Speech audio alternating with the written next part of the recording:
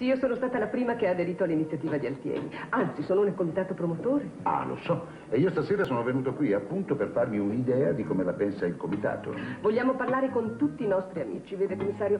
Noi speriamo soltanto di non restare isolati in cinque, magari dieci, a farci coraggio e a dire no al pagamento delle tangenti, mentre tutti gli altri poi fanno il doppio gioco, dicono guai a sottomettersi a questa infamia e magari hanno già lì la busta pronta con i soldi della protezione. E come pensa di evitare questo pericolo?